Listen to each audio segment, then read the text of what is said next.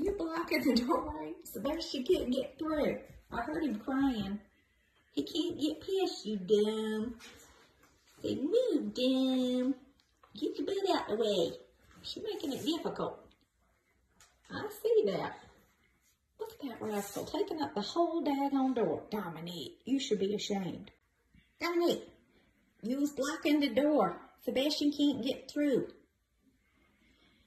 Oh, Sebastian.